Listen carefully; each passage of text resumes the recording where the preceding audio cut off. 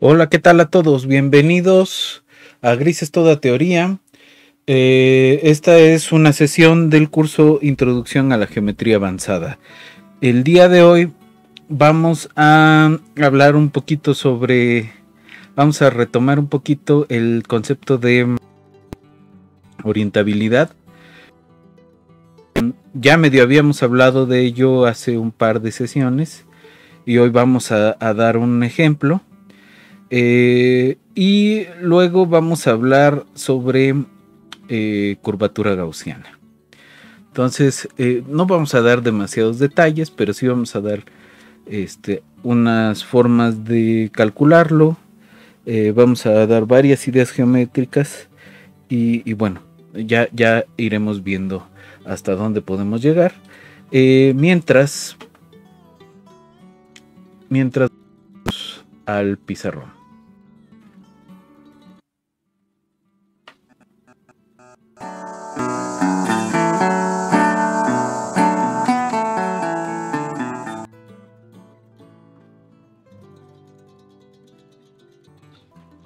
Ok. Ah. Entonces, eh, cuando hablamos de orientación, orientabilidad, decíamos que tenía que ver eh, con que pudiéramos definir un campo vectorial normal, es decir, ortogonal a la superficie y este, que todos los vectores tuvieran norma 1. Entonces un normal sobre toda la superficie. Entonces decíamos que era orientable la superficie. Ahora imagínense em, imagínense el ajá que tienen ustedes un punto, o sea, ¿cómo describes este campo normal? Pues te tomas este tiene que ser ortogonal a la, al plano tangente, ¿no? Entonces el plano tangente lo generamos con dos vectores. Este, el phi de U.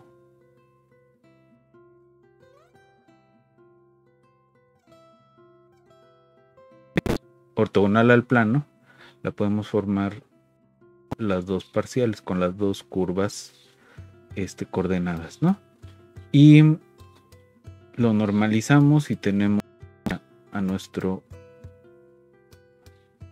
vector normal, ¿no?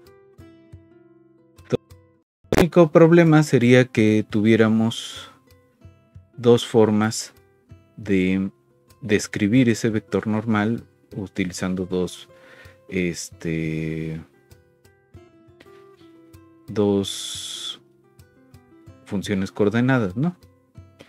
Entonces, eh, digamos que de la phi a partir de un abierto U es una y a partir de un abierto U con barra tenemos otra que se llama psi. Eh, entonces, ¿qué es lo que vamos a querer? Eh, fíjense que si escribimos este en términos de el otro vector,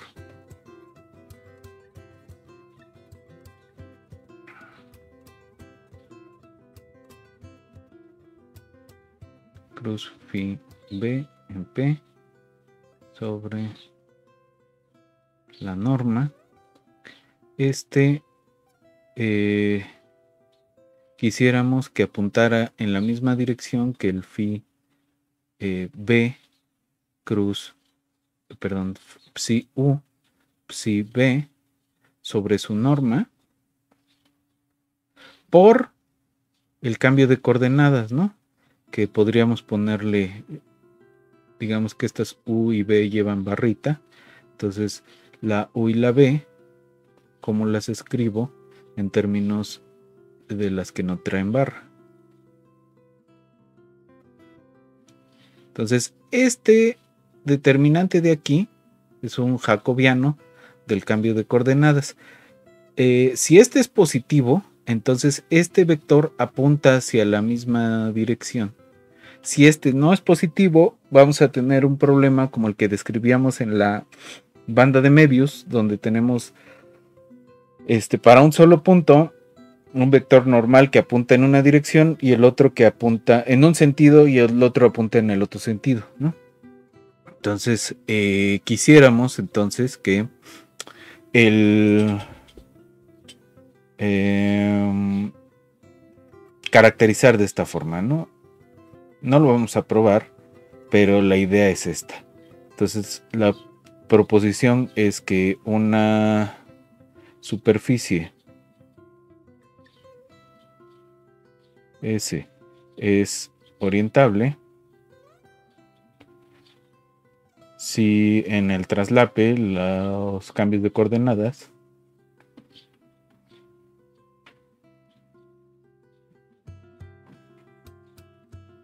tienen jacobiano positivo.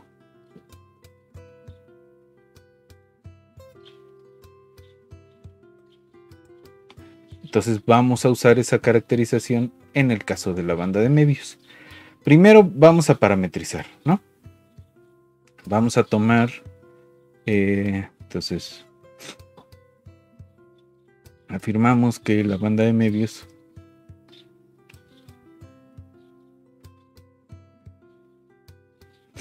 no es orientable. Y para ver eso, vamos a tomar dos parametrizaciones. La phi, que la podemos escribir como menos 2, eh, no, perdón, 2 menos b seno de u medios por seno de eh, u 2 menos b seno de u medios por coseno de u y b coseno de u medios. Si se fijan, esta se parece un poco a la de la dona, a la del toro, ¿no? Y la idea es que eh, vamos a tomar una, curva que va a ser un segmento de recta y ese segmento de recta le vamos a dar la vuelta alrededor del eje Z, ¿no? Pero conforme vayamos dándole vuelta, vamos a irla acostando un poquito. De tal forma que cuando llegue aquí, esté completamente acostada, ¿no? Aquí va a ir como así. Y aquí va a ir así. Aquí va a ir así. Y ahí está dando la vuelta, ¿no? Entonces, este... Esa es la banda de medios la podemos parametrizar de esta forma y podemos dar una segunda parametrización que se vale para una buena cantidad de puntos. Ahorita vemos exactamente para cuáles. Entonces, psi de u barra b barra va a ser 2 eh, menos b barra seno de u barra medios más pi cuartos por coseno de u barra. 2 menos b barra seno de u medios más pi cuartos por coseno de u barra, perdón, por el seno de u barra. Y b barra coseno de u medios más pi cuartos. ¿No? Ok. traslape, ¿dónde, ¿dónde hace sentido el cambio de coordenadas, ¿no? Entonces las vecindades coordenadas, llamémosle U y U barra, se intersecan en este dos conjuntos que vamos a llamarle W1, que son las FIS o PSIS. Digamos, la, la FI que proviene de dónde. Si restringimos la U a pi medios, este 2pi. Y W2 va a ser de 0 a pi medios.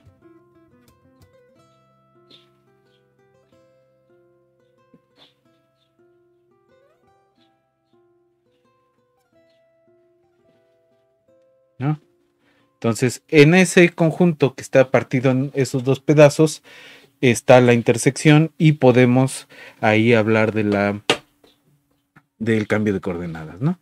Entonces, ¿cómo se ve el cambio de coordenadas?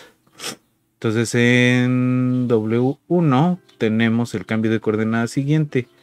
U barra lo vamos a escribir en términos de U como U menos pi medios y B barra como B. En W2 vamos a tener eh, U barra igual a 3 pi medios más U y B barra igual a menos B. ¿no? Entonces vamos a sacar el jacobiano de esto. Y fíjense que el jacobiano de el cambio de coordenadas es el determinante de esto respecto de U, que es 1. Esto respecto de B, que es 0. Esto respecto de U, que es 1. Y ahí está, ¿no? Que es 1. Esto es en W1. Y este mismo es igual al determinante de 1, 0, 0 menos 1 igual a menos 1 en W2, ¿no? Más hay que hacer la cuenta con cuidado y se pueden dar cuenta de esto. Entonces lo que tenemos es que el jacobiano no necesariamente tiene eh, eh,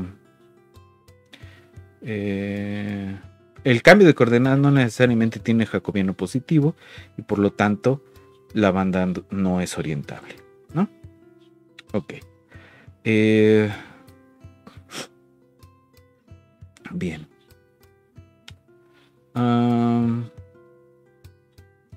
entonces, habíamos hablado de, entonces de NDP como un campo tangente, un campo, un campo ortogonal, perdón. Entonces, eh, hay una forma de verlo que es tomo puntos en la esfera y me voy a ir no a todo R3, sino únicamente a S2. ¿Esto por qué? Porque cada vector normal apunta en una dirección y solo me va a interesar esa dirección, que son como puntos en S2. Entonces, eh, yo puedo pensar en la diferencial de n en cualquier punto P, que es una función que va del espacio tangente a S en el espacio tangente de la esfera. este TNP de S2, ¿no? Entonces, em, ¿qué es lo que estamos haciendo aquí? Pues lo que vamos a hacer en el fondo es ver, dibujar en la esfera cómo varía el campo normal. Entonces, ¿cómo varía en qué sentido? Vamos a ver. Entonces, esta se le llama la aplicación de Gauss o mapeo de Gauss o función de Gauss. ¿No? Entonces, a lo que estás jugando en el fondo es qué región de la esfera estás cubriendo con este campo normal, ¿no? Ahora, ¿qué fue lo que hicimos para definir este eh, el vector tangente a una superficie en un punto o los vectores tangentes? Pues lo redujimos a lo que sabemos hacer que son las curvas, ¿no? Entonces, eh, supongamos que tenemos por acá un vector tangente. De hecho, supongamos que tenemos las dos parciales de una parametrización. Entonces tenemos bien definido el campo tangente, el campo normal, ¿no? Eh, entonces vamos a suponer que S es orientable. Eh, si nos fijamos en un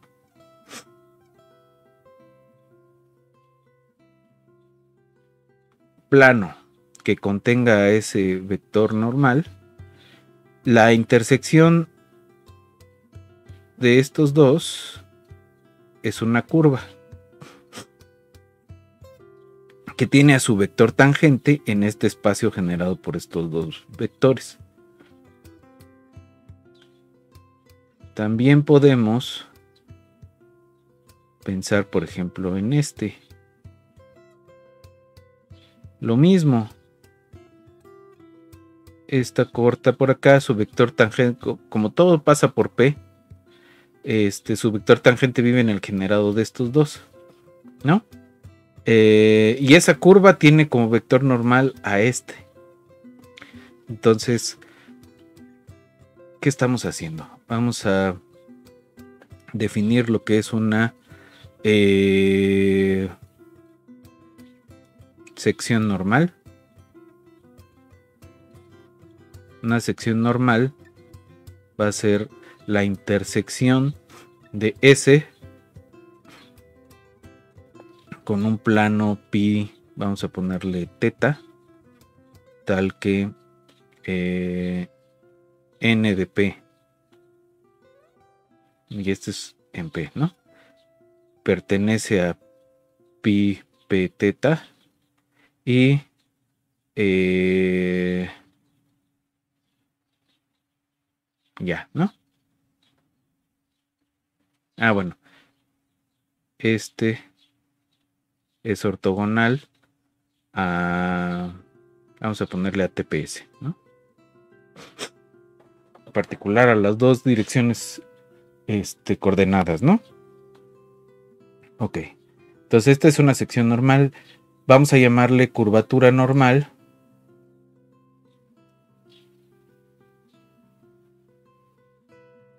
A la curvatura de estas secciones normales, ¿no? esta intersección siempre es una curva en la superficie y a la curvatura de esto vamos a llamarle curvatura normal kn con parámetro teta, ¿no? Este parámetro teta, ¿quién es? Pues si nos fijamos, por ejemplo, en este vector tangente que genéricamente podría ser phi u, eh, esa teta lo que va a medir es el vector tangente a esta curva, en ese punto, digamos el si alfa es ese alfa super teta, es ese intersección el plano con parámetro teta. Eh, entonces teta es el ángulo entre alfa, este, perdón, alfa prima, teta y el FIU, por ejemplo, ¿no? Sobre este y este. ¿no? Ok, entonces ese ángulo teta caracteriza a nuestra sección normal, pero la caracteriza como me da lo mismo el normal, el tangente hacia un sentido o hacia otro, solo me interesa la dirección, entonces la teta toma valores 0 eh, a pi cerrado, ¿no? Después se van a repetir un montón de veces. Entonces, lo que tenemos es, es que esta KN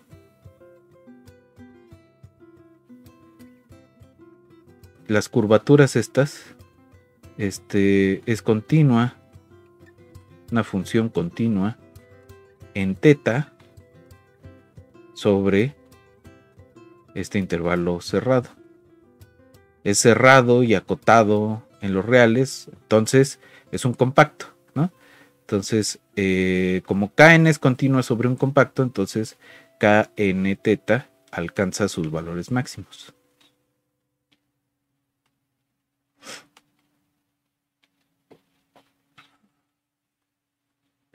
Y a esos máximos se les va a llamar, este, o sus valores extremos, más bien dicho.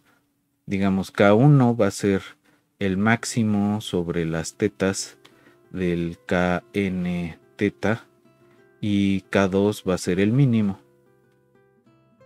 sobre las tetas de KN teta. Entonces, eh, la curvatura gaussiana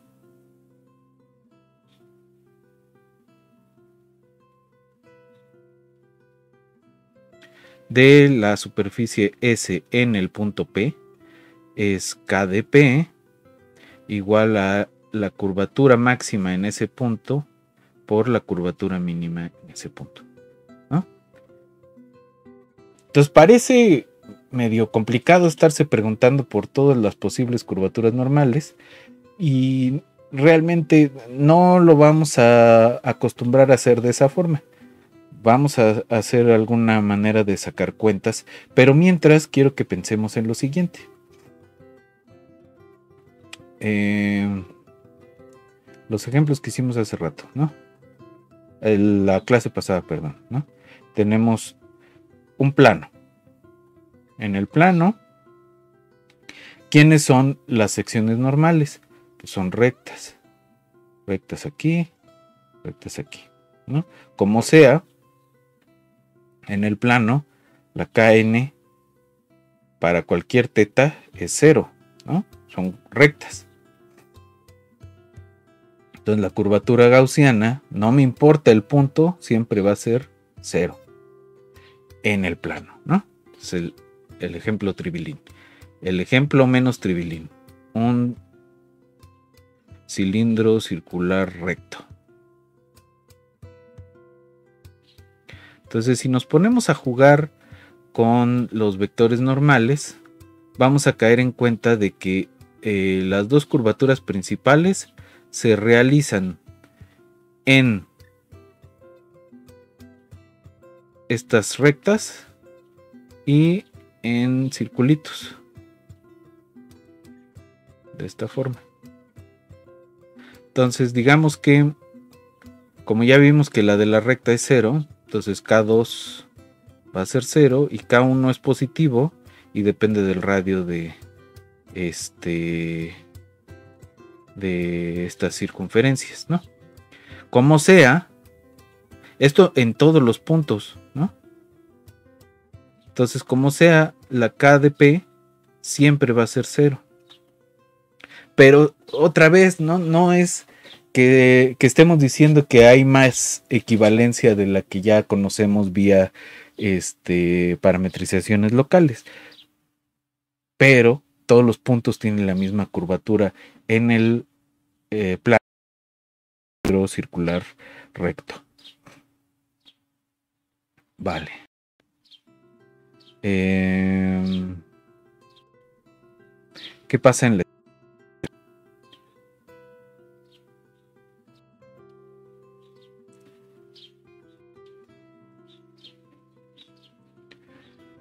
si yo me paro en cualquier punto, las dos van a venir dadas por eh, círculos máximos.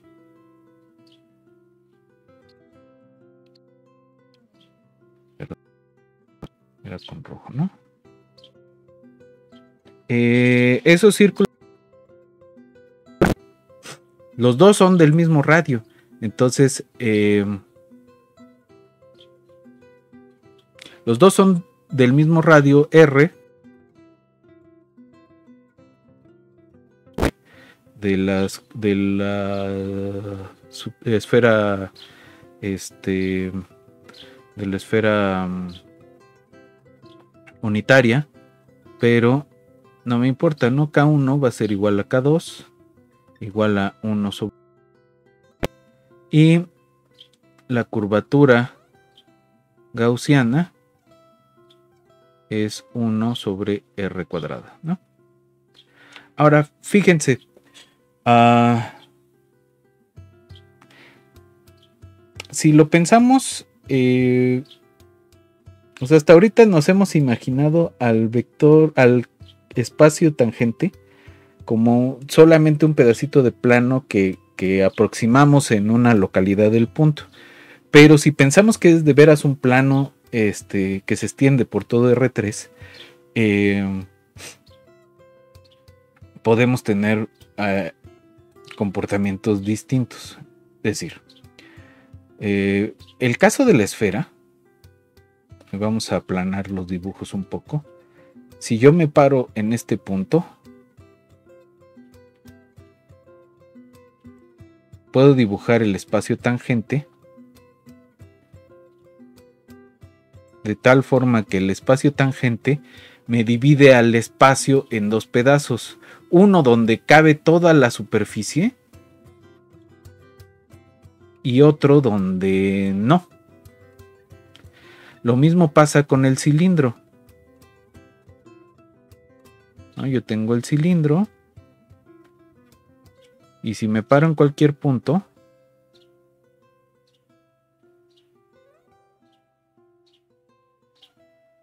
y dibujo su espacio tangente, digamos así,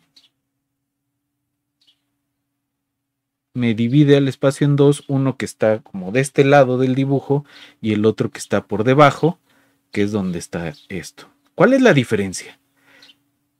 Este plano, este, visto como nada más así, eh, toca a la superficie en un único punto y este toca la superficie en una recta